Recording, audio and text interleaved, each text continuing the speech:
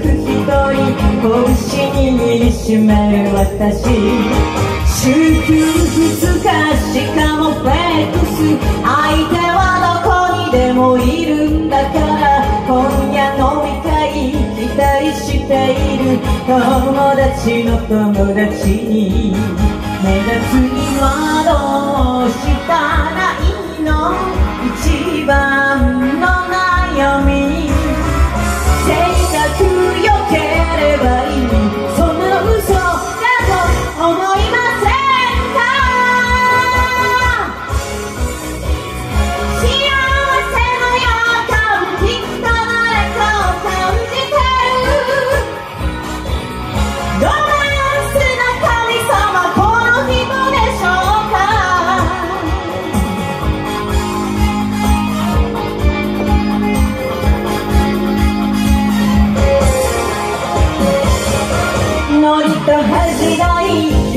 必要なのよ初対面の男の人って年齢住所趣味に職業さりげなくチェックしなくちゃまず手今した。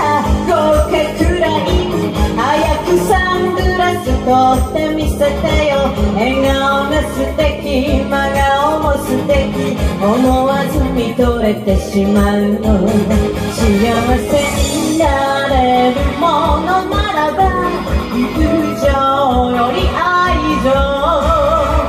帰りは遅らせてと早速 OK と